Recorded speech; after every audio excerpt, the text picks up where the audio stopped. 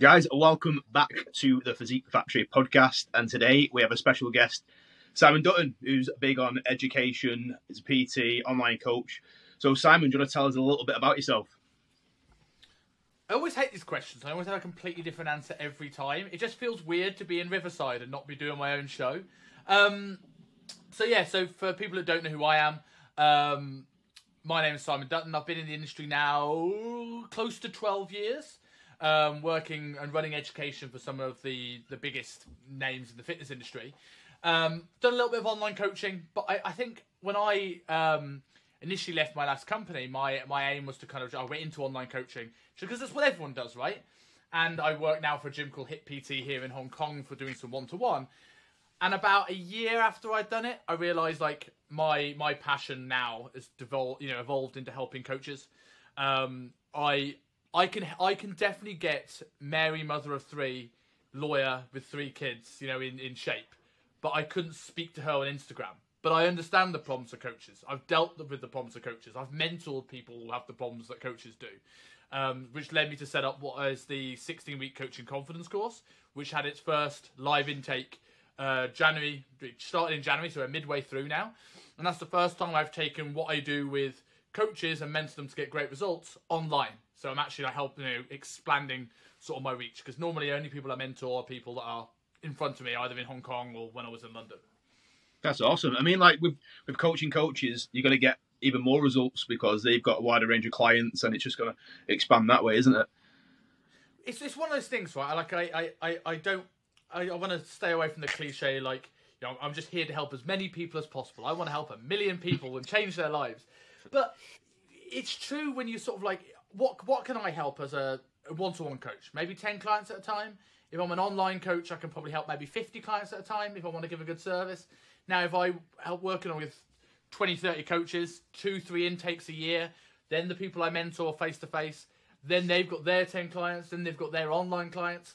Like the the reach and the scope of that just it just goes far more, and it's something I enjoy more. And I, I I'm known for a very young age. I was a very creative, quite energetic, and quite passionate person. If I'm directed in the right way, but maybe because I have ADHD, if I'm directed in the wrong way, I just can't apply myself and just feel a little bit shit. Sorry, can I curse on this podcast? You can beat me if not. But um, like curse all you want. I was assu- I was assuming with a Scotsman on the show that I'd be allowed to do it. Um, but like yeah, so I, I just realised that the, I much more enjoy working with coaches now, and I just know I can do a better job of it. Sweet. So when did this like journey all start in the fitness industry? That's a good question. I mean, like I've always been involved in sport in some way. Like since I was about eight years old, I was playing rugby, um, and I think it. But I could say I could say that it's because I went into sport. But in reality, I was a kid that was only child. I wouldn't say I was particularly lonely, but I, I had I had a track record of probably not necessarily always being the most popular kid at school, feeling unheard, which led to a few confidence issues. And then I in start of 2000, when I was about 10 years old, I uh, stay. I woke up in the middle of the night, turned on Channel 4, and the Royal Rumble was on, which is obviously this also this Saturday, so that's quite exciting. Um, and I, I saw Triple H for the first time. And I don't know if it's necessarily just purely about the physique, but when I was a kid and I didn't have confidence, you see these these wrestlers who literally captivate an audience. Like eyes are on them, there's cheers, there's everything. And as a kid, when I didn't really understand what wrestling was, I just saw this physique and went, "That's how a man should look. If I look like that, people are going to take me more seriously." And I don't think I, that didn't mean anything at the time at 10 years old, but that sort of thought process lingered. And then when I got into 17, 18, I was like, right, I'm getting straight into the gym. I want to look like Triple H. And I'm suppose I'm still trying to do that to this day. we're all chasing that Triple H physique. It's, it's funny you mention that because I think like you know when I think back to like my past and my childhood and that I think uh, that's somewhat what this is all stemmed from for me as well. I used to be big into WWE and things like that, and uh, yeah, I, I I'd never really realised it at the time, but you wonder if that's like the first kind of like click for you, the first thing that makes you kind of want to achieve that. Um, sadly for me, the thing that really did push me into the gym later on in life was, and this is the most embarrassing thing ever, was fucking Geordie Shore. you never said that before. no, I don't say it very often. Oh, brilliant. but um, I had a girlfriend at the time that liked watching it, and I ended up watching it on a weekly basis. And I was like, huh, okay. And then I split up with her, and I was like, well, these guys were going out pulling all these birds, so I'll go to the gym. Yeah, it works for me. Um, fair to say, it didn't work that well. there's a trend in there's a trend in that though, right? Like, like I mentioned the fact that part of it was me feeling like an outsider and feeling like I'm not listened to and wanting to get sort of a bit more gravitas, I suppose. And you were saying it was like, okay, these guys are Geordie Shore pulling all the birds. Like it, it and this is part of the reason why I, I think I'm I'm so passionate about helping coaches because like they to the general population, coaches come across like the most confident people in the world. When in reality, I would argue there's 10% of people that just like they're the, the jocks of the room, but like 90% of coaches are people that have got into the industry because their own lack of confidence, their own insecurities, why most people join the gym. They've probably got more body dysmorphia than all of their clients because as soon as they start working a gym, they're forever small. Like when I first started working at UP, I was working with Justin McGuire, and if you don't know who that guy is, he's he was 120 kilos shredded. So wow. like, I was never going to be a big guy, and I, I, I, part of the reason why I call my, you know, my course the coaching confidence course. It's like I'm working to take away imposter syndrome from coaches because we everyone has it. Like there's so many good coaches out there, and this is the only industry in the world where, well, maybe there is other ones, but the only one I can think of where the best don't become the most financially rewarded. Yeah. And I don't help them with I don't help them with mentoring. I don't I don't put like O's on their bank balance. I help them get results.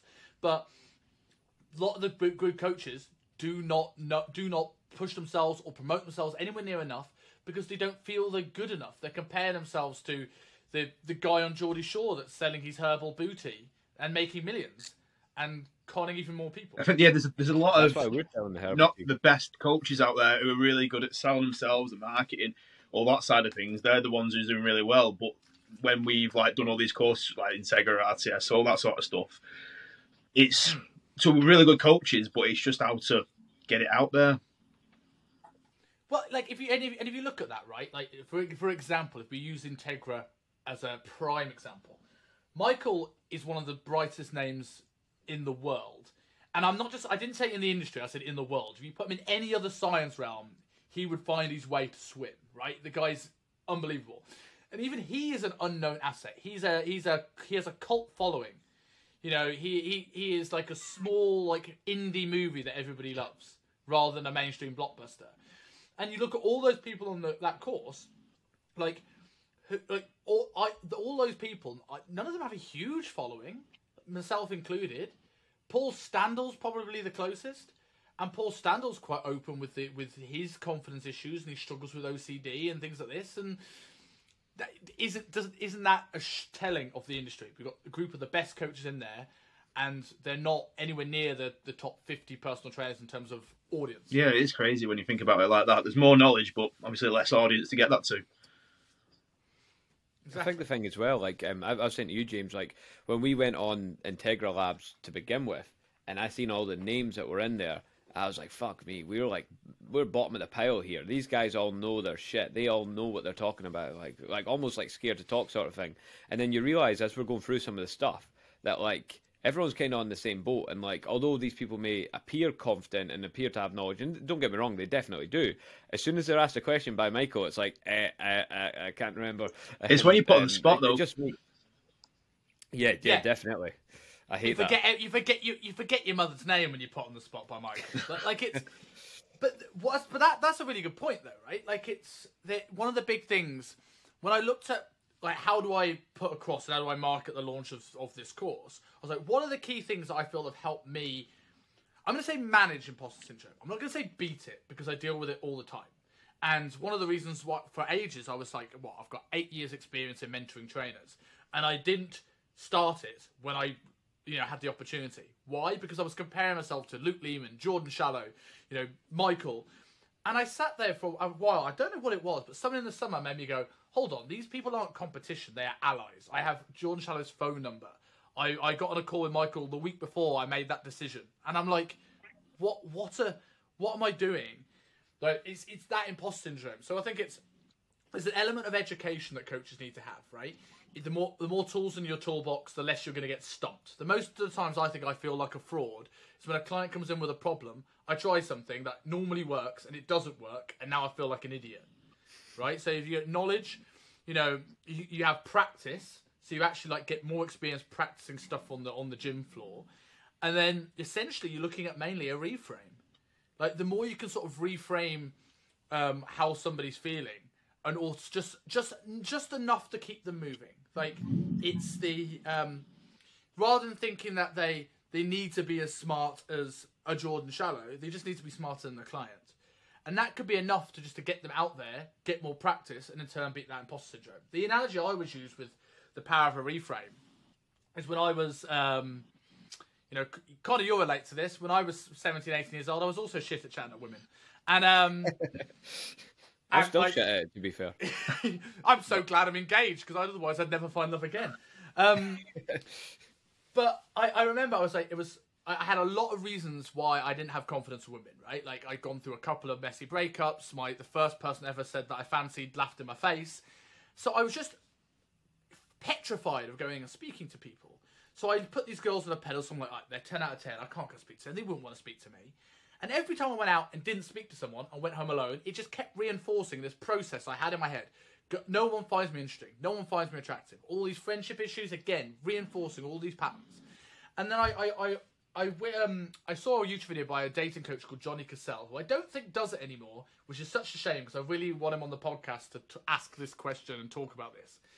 But he said a girl can only be five out of ten on looks alone. She makes up the other five by if she's interesting, she's cool, what she does for a living, you know, all these great traits that make a human a human. And did that take away my fear immediately? No. But what it did is it just took the edge off it a little bit and reframed it. So then I would be like, more often than not, go, I'm now excited to see if you make the other five. And I still got turned down every now and again, but the more I did it, the more positive reinforcement I got. And the, that, that I, uh, people don't find me interesting things started to fade away a little bit. And I think if we take this into the realm of coaching, it's like, what are the things that coaches are are unsure about doing? Whether that is getting out and doing their outreach because they don't feel anyone's going to do it, whether that's putting stuff on social media because they don't think they're smart enough, whether that is going on education because they don't want to be called out, not doing the homework on that sort of stuff, right? It's and that's why a lot of what I do in the in you know when I start working with coaches, like right, let's teach them how to learn. Because most people when they study it's just literally trying to memorize origins and insertions for an hour and a half and that gets no one anywhere. But if you went okay i'm to do 10 minutes of that. 10 minutes of going and watch someone i admire teach this and then 10 minutes getting in the gym and using this it's to stick in more and then if i then have to then get reinforcement and feedback from that that's going to give me a reference point. Oh yeah. Oh, that's why the hamstring feels curl feels better when I posterior tilt my pelvis.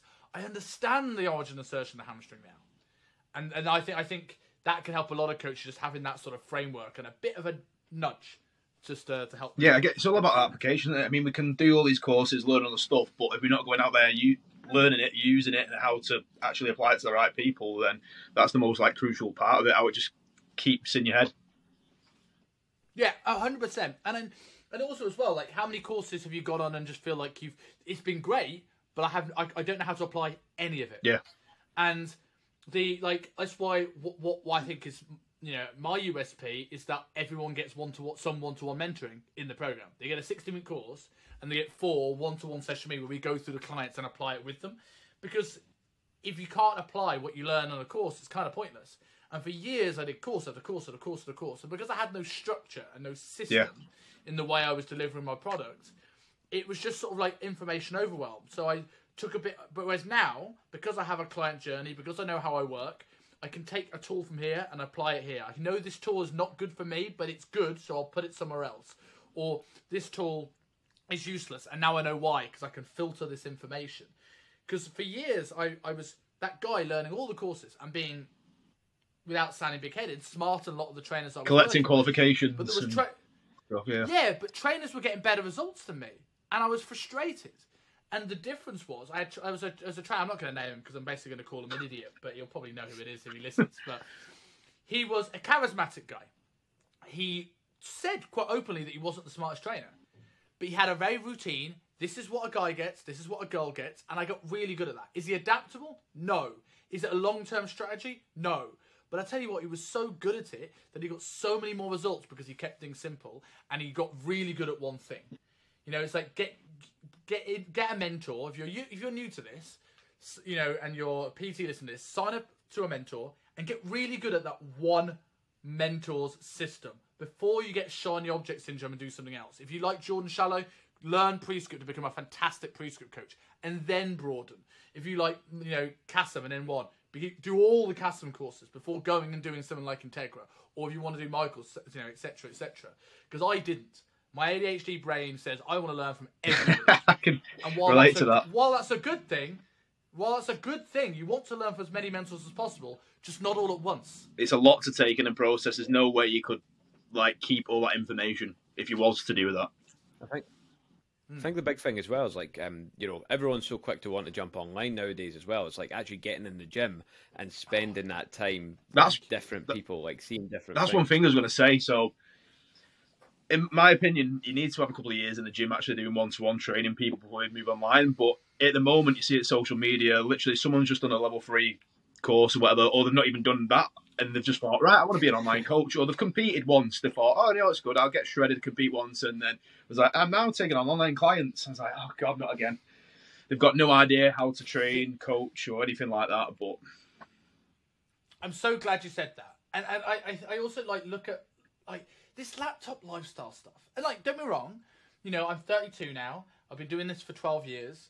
I, I am I am you know still do some one-to-one coaching, and I'm I'm slowly moving away from it because you know now I'm 30. You know, you know the, the typical thing, right? Everyone's bodybuilding in their 20s, and in 30s you'll start doing Brazilian jiu-jitsu, right? Like is that Jordan Peters? And like everybody, right? And I was like, I'm gonna fight it. I'm not gonna do it. I'm not. I'm gonna be a bodybuilder forever. I'm 32 and I'm sitting there going, maybe I'll book a Brazilian jiu-jitsu class. I think it's coming for me. Like other priorities in life are starting to take over.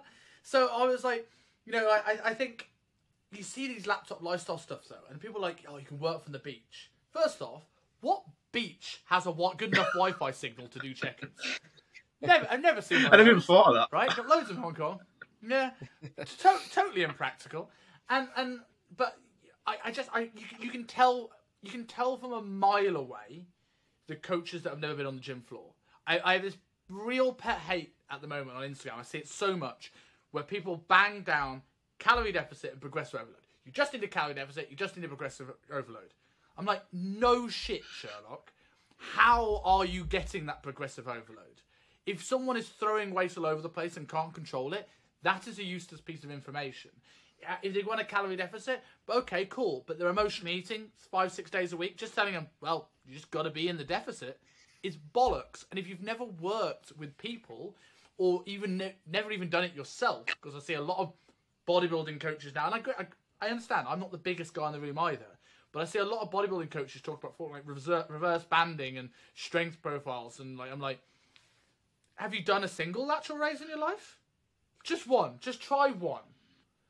And I'm just like, you know, I don't understand how where like there's no results, they don't have any depth or nuance to their words, and they're they they they just need a bit of time under the bar just just a bit working That's with it. people. Uh, so I'm so glad. But, um, in terms of when you see people batting words at like strength profiles and they just don't understand it on social media and it's like bodybuilding old school bodybuilding coaches like that or oh you shouldn't even be bothered thinking about anything like that. It's all like the old school lot and um, yeah there's a, there's a lot of that isn't there? There's, there's, a, there's a lot of that and there's also people that don't understand it in very different ways right? So you got the people that like that they want they want to sound like they're taking on clients that um, Jordan Peters is taking on, but they're taking on Mary from Slough, and they're like talking about sort of like, oh, well, you've got to match resistance profiles to strength profiles. I'm like, what are you talking about? How do I get toned? You know, like like the people aren't talking to their client; they're talking to their bodybuilder and friend in the gym. Um, and then you get the other people that you you who have gone the other way down the spectrum that talk about sort of like oh yeah, reverse banding's just making it easier. No, no, no, no, no, no. Reverse banding's making it brutally hard, and every second of the rep, it makes it harder. So you get you get all this sort of stuff, and I think it now like the mechanics world now I think is falling into two camps, we have the the sort of like the the muscle mechanics crowd, which is what I would say is the strength profiles, resistance profiles, the bodybuilding mechanics crowd, and they're in one camp. And then you've got the movement mechanics crowd, where everyone's talking about ribcage flare, anterior pelvic tilt, and breathing mechanics, right? But no, very few people bridge the gap between the two. Like I, I and I've I, I've been a victim of this because because I've got long femurs and I first delved into this wor- wormhole. People like, "Don't squat, Simon. That's a terrible exercise for you." And if I, my goal was, if my only goal in life, like, do I want kids? No. Do I want a career? No. I just want big quads. Then congratulations, Simon. That is the, that is that is a good piece of advice. But at some point, if you never go into any form of squatting, training could get pretty boring. You know, there was no process of how to get there. So in turn, my movement got considerably worse. So there, there's there's no there's no nuance, there's no thought process behind it. It's just sound bites now, and I sound like a grumpy old man. So I'll, I'll stop and let you ask another question.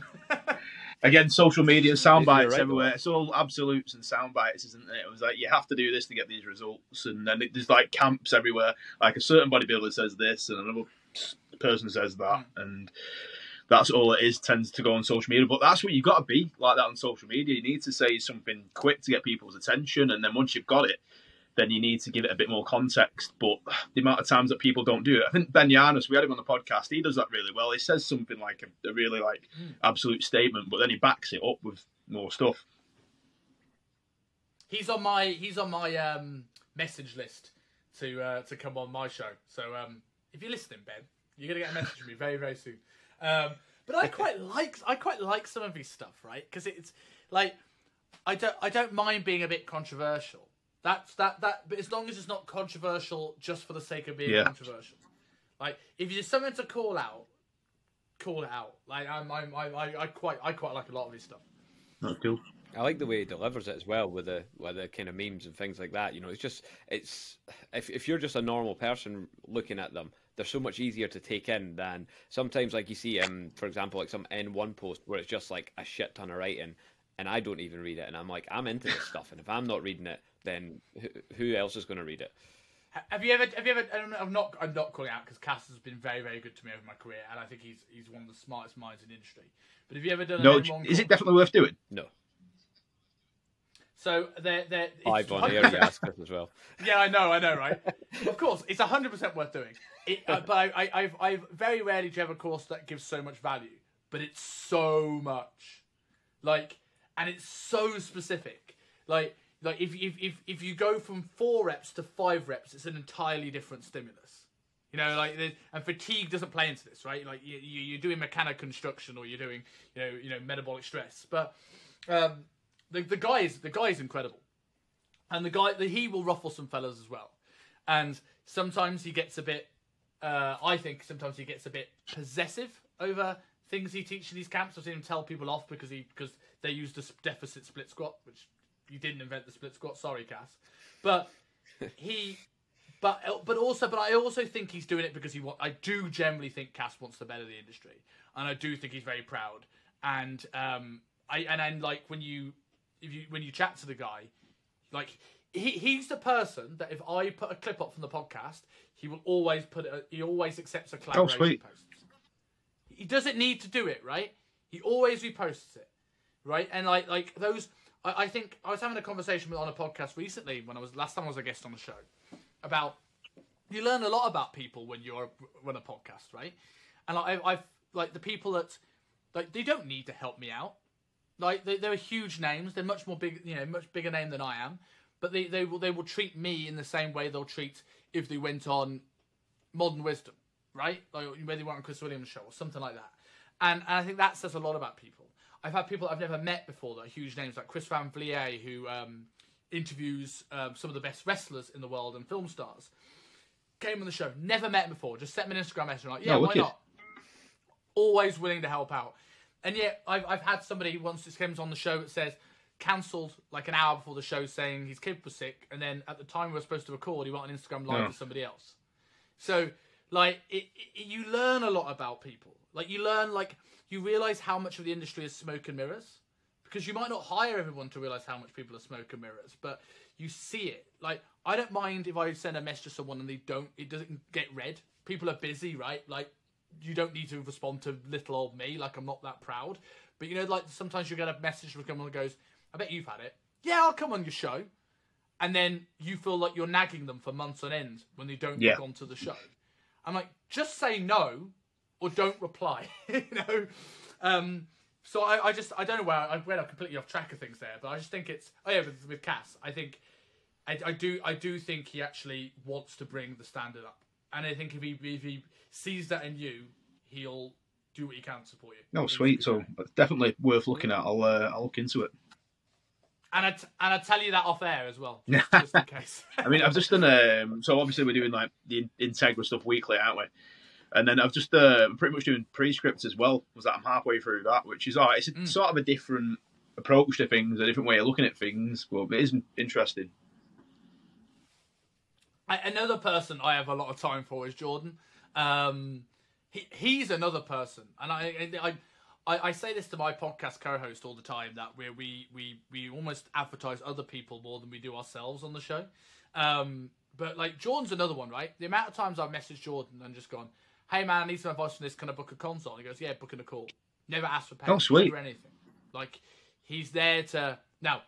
People listen to this, coaches. Don't assume that all of you can message Jordan Shallow and get a free call. I didn't expect to either, right? But you know, but I just, I just, it just, I think it says a lot to the character of the people that they, they, they, they obviously are business savvy enough to make money as they should because they deserve it, but they are generally, um, generally just good people, and that, and that's, I think, touch wood, fingers crossed. You know, I, I, I, I, I do all right in this mentorship game, and I end up with the following the similar lengths. If I do, I want to kind of keep that ethos where if the podcast grows, which is my biggest passion project and my biggest pride and joy, I want to be able to always be a show that if I can get great names, and I've been lucky to have some incredible people come on the show, great. But some of the best episodes I've done are people that are, I want to say newer to the industry, but people that are less known than even me. And if I can help them, that's that's what that's the most interesting. That's sometimes the most interesting conversations I think. Yeah, that's cool.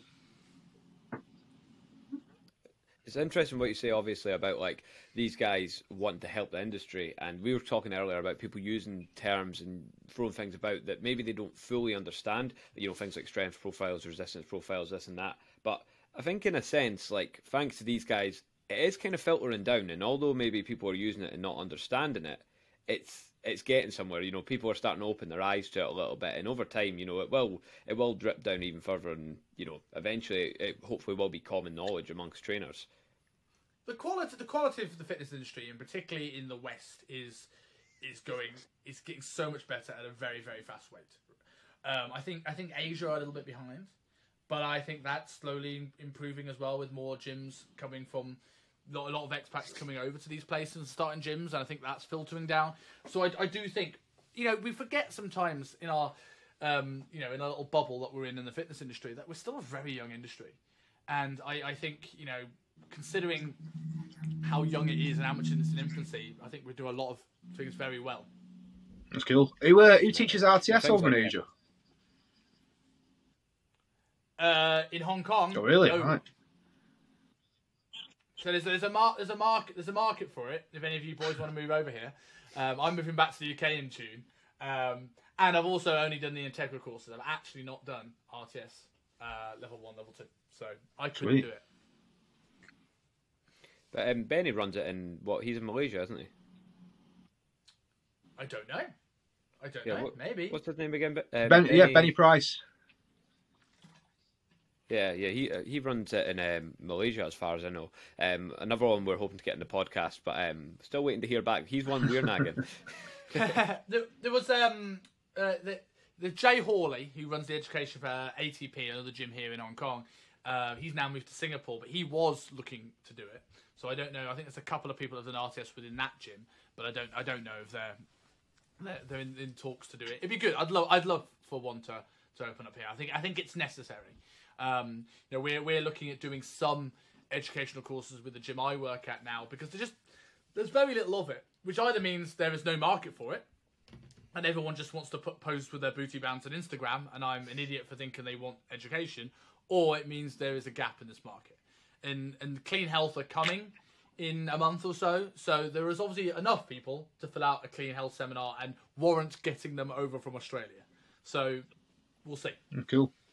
Yeah, I wanted to ask you about uh, your programming, Simon. Um, I heard from a um, solid source that you're very particular with your programming, um, and it's a real strong point of yours. Um, you can probably guess what that source is, um, or who that source is, should I say? But Would that um, be Jack? Uh, yeah, yeah, he, he, had nothing but positive things to say. Um, I'll say, uh, again, I'll say that on the air. I'll tell you the truth off here. Um, um, going into the programming, like where would you start with a client? What's the first thing? Like, break it down for us. What's the first thing you would look at when you've got a new client, um, particularly online as well? Because obviously it's easier when you're in person, in a sense. But what, what would be the first thing you'd look at? I think going into the online stuff, I'll go directly into your question about programming as a whole in a second. But I do think on the online stuff, I do think templates get a really bad rap. I think the least personal thing you can do for a client is to start a program with a blank piece of paper. And I think that's the reason why a lot of coaches get really overwhelmed with program design because they have nowhere to start. Like it's just, a, and they just start with, and they always start writing exercises, right? Always. So you have this. How many exercises are there in the world? Millions. You could probably make one tomorrow if you wanted to. Like, like that's so much overwhelm to do. So I think with online, I did trial for a while, trying to get assessment videos and like work around that. And you realise that I like people will send you progress pictures in their underwear quite happily, but to send you a video of them doing a split squat is a challenge. So, like it's it is more about getting a baseline. Um, so I think essentially when I when I work with people online, depending on where where they're at and how much experience they are, I will look at how experienced they are uh, how many years they're in the gym? Assume they're more beginner than they say they are. And I probably start most people either on a, if they're completely beginner, like a full body GBC style program. Everyone does it. And, you know, some people like to give it a bad rap. But the reason why some of the most successful personal training companies in the world use GBC and in turn everyone else started using GBC on the, as a byproduct is because it works for people who aren't going to the gym as often, are brand new, need some frequency, need some like repetition in some main lifts, right? Yeah, well, FLF used it a lot and took it from those. And it's just if someone's only going to the gym like two, three times a week, you want to cram as much like volume frequency into that as possible, don't you? Ex- exactly. Uh, or if they're a little bit more advanced, I might do um, something that I learned from Luke Leaman called a backloaded structural balance program. So we maybe work on some of the length tension discrepancies in the earlier parts of the workout and then have your big compound lifts a little bit lighter at the end so you can then just focus on almost use them as almost a skill based lift so you can spend a bit of time in the bottom ranges and then over time you start to bring those uh, main lifts towards the start of the workout and then that becomes now your traditional sort of hypertrophy strength training workout but when it comes to program design like when it comes to how I, how I build them I have I have something I teach called my program design pillars and I, the reason why I like this is because I think people don't know where to start with program design. They're starting, okay, which handle should I use on that pull down? Right, that's so far down the list of priorities when you're making a program, it's insane. So I like, what is the what is the decision I can make right now that will make every other decision easier? So the first thing I will look at is periodization. A lot of trainers say, is it do you need to periodize with gen general population? Because they will have random holidays. Their goals will change. They'll cancel sessions. And I think absolutely yes, you do. I think your periodization model is not perfect with a Gen Pop, and it's going to be a bit flawed, and you're going to alter it along the way. But periodization does a couple of things. It lets the client in on where this is going long term, which gives them more confidence in you. Right? It gets more buy-in from the client, where they know where you're going to be in 12 weeks, where you're going to be in six months, what happens when the diet's over but it also means you have a starting point for reps. So if I say I'm going to choose a linear periodization model because I work with beginners and that tends to work quite well because higher repetition when they don't know how to generate some intensity. And as they start to learn how to train, you increase the intensity, lower the overall volume, right? That works well for beginners. Undulating models tend to work well for intermediates. Um, and then I've got something I call step loading, but not the traditional step loading in reps um, that I use for hypertrophy. So I choose that periodization model. Let's say it's linear. Now, because of that, I know my reps are going to start around probably somewhere between 10 to 15, right? Girls on the higher end, guys on the slightly lower end, right? Now, because of that, now I've chosen those repetitions. My sets, my reps, so my sets, my tempo, my rest is easy. I'm not going to do three minute rests with a set of 12. I'm not going to do a 4 2 1 0 tempo with a set of 12 unless my client says they want to be in the gym three hours a day. So I'm not going to do six sets of 15. So all those decisions are now easier. So now I've got I've got I've got those things in place. Then I will look at my main movement categories, and there were ma- like generally this is this is how I think about program design um, with beginners. I have eight main movement categories, which if you're doing a full body GBC, is your A's and your B series in your first two workouts. So there'll be a vertical push and pull, there'll be a horizontal push and pull, there'll be a um, bilateral squat pattern, which could be a leg extension if someone's unstable and doesn't can't move well. Uh, there'll be a unilateral squat pattern, right? So we can open up things like the rec fem and just work how they would work through gait. There'll be a hip extension exercise, and there'll be a knee flexion exercise because I think knee flexion is one of the most notoriously undervalued uh, movement patterns in the world because the, the hamstrings have a great ability to stabilize both the hip and the knee, something that a lot of people struggle with. So there'll be my eight patterns. So let's say I did uh, a vertical pull in A1, then I'm probably going to do a you know a, a, squat pattern in A2, right? And then whatever I don't do will be the other two in the, the, the second workout, and I just have it like that. That becomes super easy. I have a couple of optional ones I, if, if I, they don't have target areas, which would be like an anti-rotation, anti-extension exercise, just so I can work on little the little things I know that are going to become problems when it gets heavy. If I can sort those issues out now, it becomes easier for me later down the line. But so once I've got those eight movement patterns in, I look at target areas and remedial work.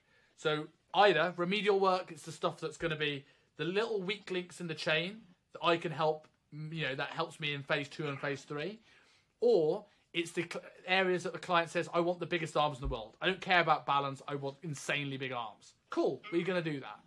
Or um, I'll, I'll look at what is their weakest link in terms of their overall balance of their physique. So if any of you have seen a picture of my back, right, my back is quite overdeveloped. My triceps are quite crap. So my my, my um, triceps make my back look smaller. My back does not make my triceps look bigger.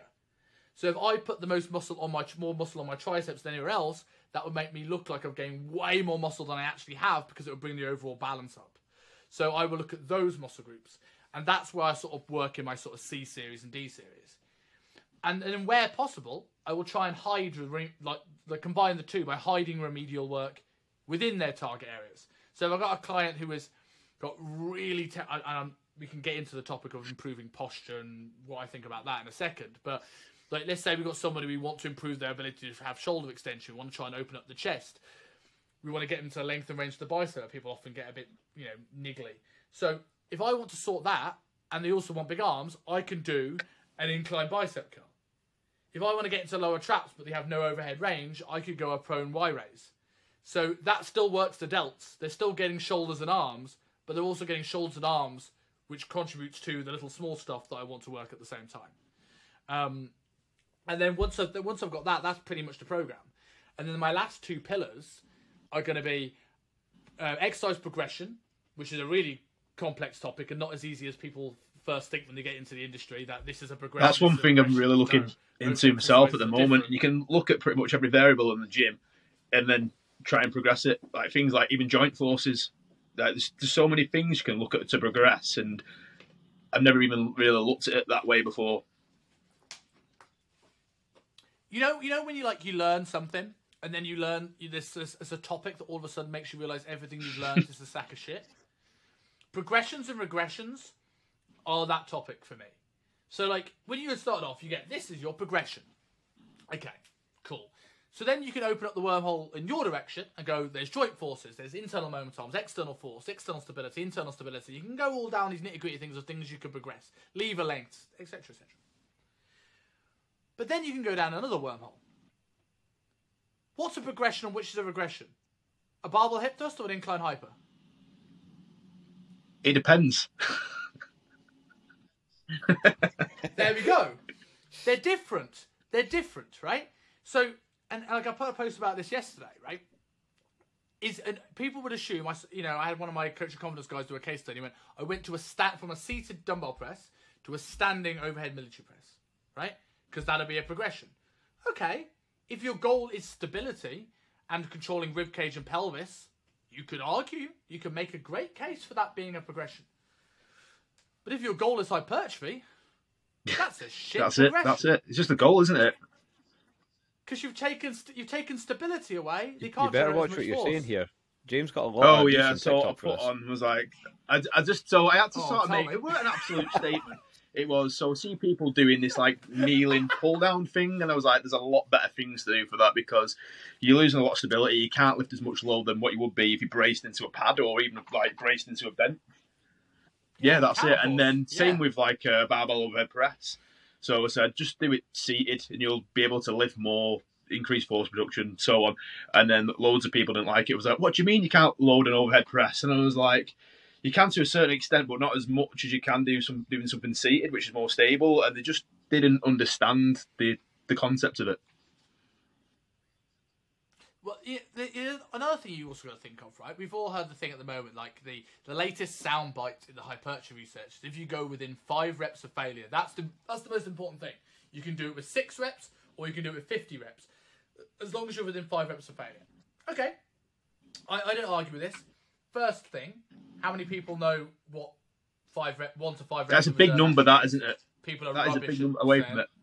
yeah. Well, how many people go, oh, yeah, I've got one left in the tank and the rep hasn't Hmm. started to slow down? Right, cool. You're nowhere near. But also, I would argue for the goal is hypertrophy, we are talking five reps away from muscular failure. Not technical failure, muscular failure. So, in that example, let's use a squat. Let's use a squat as an example. You could load a squat, maybe more than a hat squat. But if you can't take it to that threshold safely, is it a better exercise for that goal? And and this is the thing because when I first was taught the exercise mechanics RTS sort of stuff by people obviously was second and third hand. I'm not teaching this when I learnt this originally. It wasn't from Michael, right? Like I'm not you know tarnishing his knowledge because it, it's second to none. But like I, was told not to squat, but like depends on the goal. So what happens when my goal changed? Now, me getting into a deep squat, there's other muscles there that help me be more stable, get out of pain, eliminate back pain, teach me to brace. Now you can you can obviously regress that term again, exercises to more stable ways of learning how to brace, but you want to integrate that eventually. So like regressions and regressions are such a complicated topic because it's so goal dependent, it's so individual dependent. Um, there's so many things that come into play here that I think it's I, I think it's a fun topic. But most people they talk about progression regressions and they are taking people on to build muscle and they don't know. So many coaches don't know the three drivers of hypertrophy. So many coaches don't know how fat is lost in a cellular level. Now, do you need to know how fat is lost at a cellular level? No, you can put someone on a calorie deficit and you can be really good at talking to them, and that's you'd be a great coach. But don't you think you should? It's like my, I could give my surgeon an instruction manual to take out one of my kidneys, right? He probably doesn't need to know what the rest of the body does, right, to do a to do a right job. But I'd really like it if he did. And this is the thing Oh, that's personal cool. trainers now. I think it's good as well when a client asks you a question and you don't just have, you know, an, a yes or no answer. You've got depth to the knowledge within that, um, rather rather than just this kind of like answer you'd give to everyone. Um, so I think, it, as you say, it gives confidence. It's like your surgeon knowing about the rest of the body. It's like it just gives them confidence in you as a coach. Um, the, a drawback to that though, right? Before, sorry to cut you off, but like, is is the fact that I can over describe things because I want people to know, I want to help them, and I Then it comes back to that I'm thing. the fuck out. Um, think science, speak client. yes, Definitely. yeah, a hundred percent. People saying like, squeeze your teres major on the gym floor, like, what is what are you talking about? Like, and people people do it in the food as well. Could you take thirty grams of carbs? Right, I've had a client once, right, that sent me a picture. It was like 800 grams of protein, one meal, boom. I replied first, one, I've never said have 800 grams of protein in a day, let alone a meal. Two, it's the amount of protein within the meat, not the weight of the meat. And three, you've weighed the plate. So like, if I if I if I just said to him, take 30 grams of carbs, is he gonna know what to do? Not a chance. Speaking food. Yeah, go, going back to just like the progressions regressions thing as well. Um, you know, I think RTS do this really really well with the exercise continuum. That's like mm. awesome. Like I, I, I refer back to that quite often actually, and that's a good way of like really looking at that and breaking it down because it is such a complex subject, and it gives you that framework. Like you said, like you've got your kind of pillars that you work around. Having some sort of framework to go by has just got to be, um, yeah, it's paramount to success in, in programming. I would say.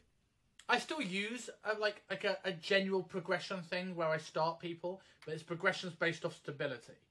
And I know then if I wanted to change the parameters like progressions based off hypertrophy, that could all be jumbled up. But I use a stability based progression system to sort of kind of go right. Where are you probably going to sit on this? And then I can tailor that to the goal. But it gives me a starting point. But no more than that. It's not my what I go phase to phase.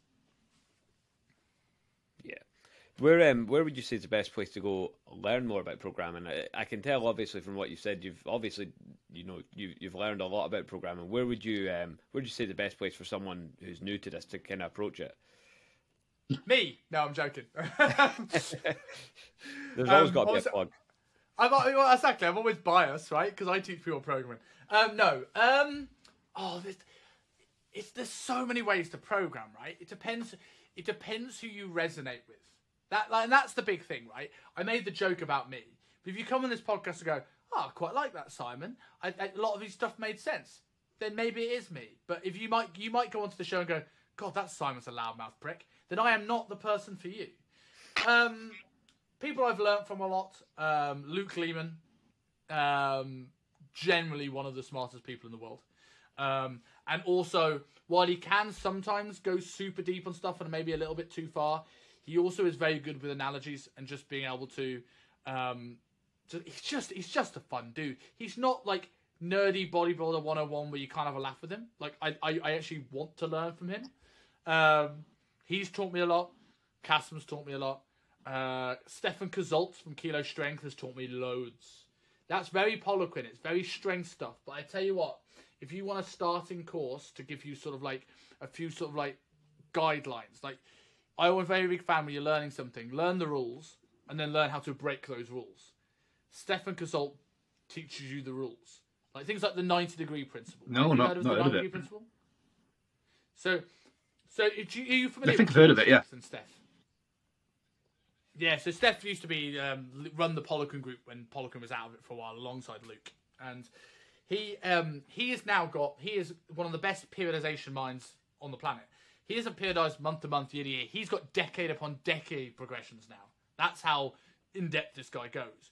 But he'll talk about things like, okay, if I'm doing a pressing variation, like an overhead press that moves the scapula, I may go neutral grip in pull downs and row variations where there's not so much movement in the scapula. So you you balance the two. Um, he also talks about the 90 degree principle. So what he's found by working with tons of athletes that if if, if you're doing pressing if you've got in one phase an overhead press, the accessory work would be the flat press. Because if you're more than 90 degrees, let's say you go overhead and decline, it's too far apart an angle to really have a decent carryover between the two. But if you did overhead press and incline press, they're so close that the level of fatigue would limit yeah. the training volume. So, like when you do a phase, if the focus is overhead press, you know the accessory press is going to be flat.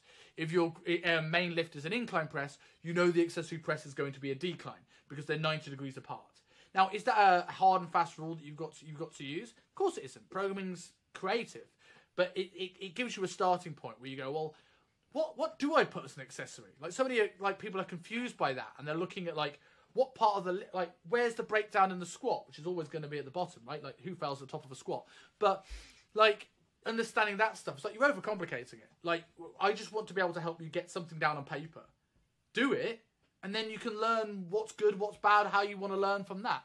So he's really good with that, um, and I think that's a really good place for a lot of people to start.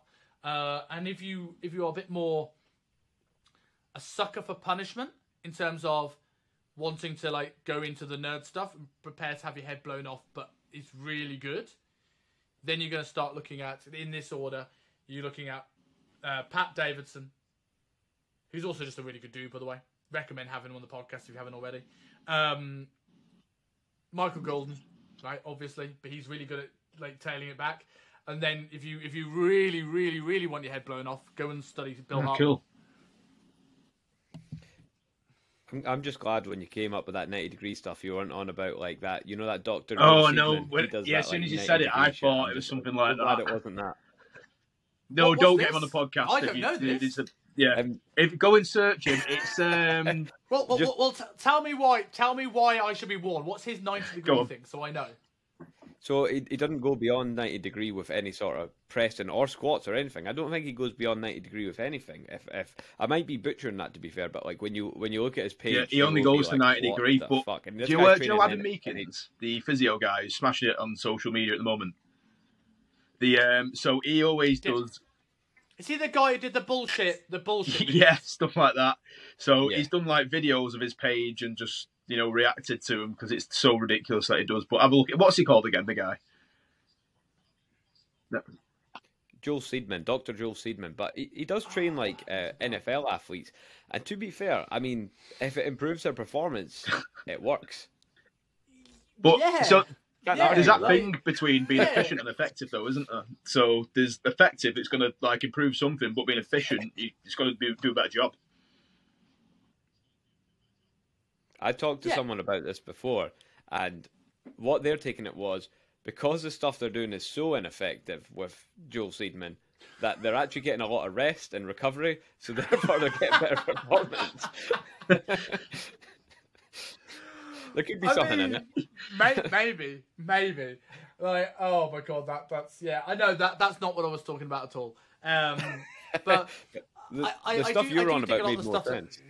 That, good. I'm, I'm, glad. I'm glad it came across that way. Because um, I, I, I, every day you like Jack saying I'm so precise with my program design. I still think I'm winging it and making up as we go along. But there was a great phrase that uh, Chris Williamson said um, in a recent episode of the Modern Wisdom podcast, which I love.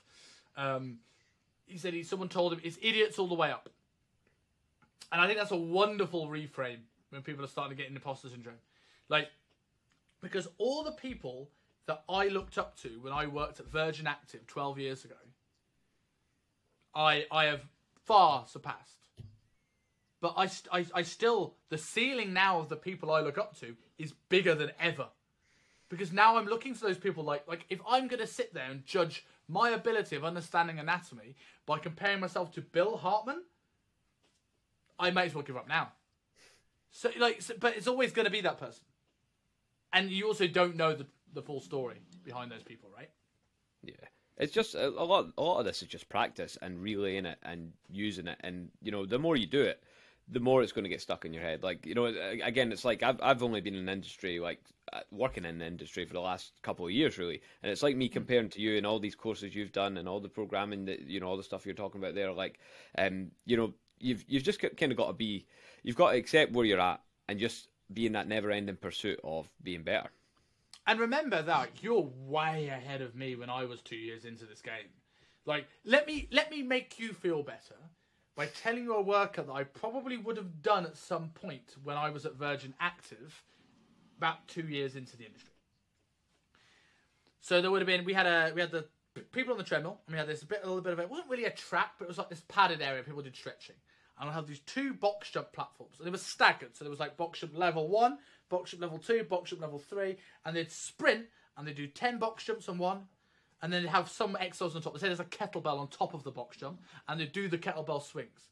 And they come down, to the go to the second box jump, and then maybe a viper on top of that one. And it was more about impressing the people on the treadmill and giving somebody a sensation of a workout than it actually was about getting them the result. Right? and I couldn't work out. Like I did an alright in sessions wise, and a lot of people did come because they saw the workout that looked fun. But I couldn't work out why my colleague Ryan was consistently the highest performing trainer in the gym. Why? Because he was actually recalling people's loads and getting them in better shape. And it was only when I moved and actually got mentoring for the first time, when I wasn't sort of winging it, um, that I learned that. Because how many personal trainers have ever had a personal trainer? Ever. They train themselves and they train clients. So they can, yes, they can learn from trainers around them. But it's a totally different ball game to when you actually get personal training yourself. I've had coaches both online, I've had coaches in person. I've been trained by many, many, many personal trainers. I've paid for consults where I've gone and done an arm workout that made me want to be sick. I tell you what, you learn a lot from that stuff, right? Like I, I, I did. This, I was saying this the other day. I had a episode of my show where I talked about the most brutal workouts that we'd ever did, and two of them were arm workouts. One was done by a guy called Anthony Jones at Shapeshifter. Shout out to Ant, and it was just brutal. And the other one was Tom Kernington in Bath in body development. Um, he's like, you would never look at Tom and go, that's a great body composition coach. He's a small, round fella, but he's a boxing coach, essentially. But he's so good.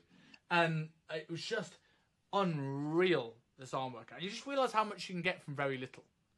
You know, like, that's one of the great things about UP, especially in the early days when I first started. Like, some of the people there were just amazing.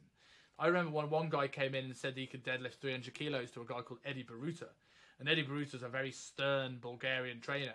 And he made him cry with wow. one plate on a leg extension. right? Like, like, like you learn very quickly what good personal training is. So you were way ahead of me when I was two years in the industry by a country mile, right? That's it. Um, so we've taken up enough of your time, and I know it's getting close to ten o'clock there, and I know for me that is getting close to bedtime. so we'll um, we'll we'll we'll cut it short at that. But um, do you just want to say a little bit about like this mentoring program you're running? Give yourself a wee plug. We'll we'll we'll let you promote yourself. I appreciate it. I appreciate it. Um, yeah. So I'm going to plug something else first because this is the thing I actually want to grow. I'm going to plug my podcast because I will definitely plug yeah. yours in return. Um, the Self Made Podcast is where, if you want to hear my unfiltered views on everything, mainly fitness, but about once every other month, I probably do something off topic from aliens to UFOs to feminism and the works. Um, but that is my pride and joy. So you can find it at the Self Made Podcast. You can find it on Instagram. You can find it on YouTube under me, Simon Kingsley Dutton.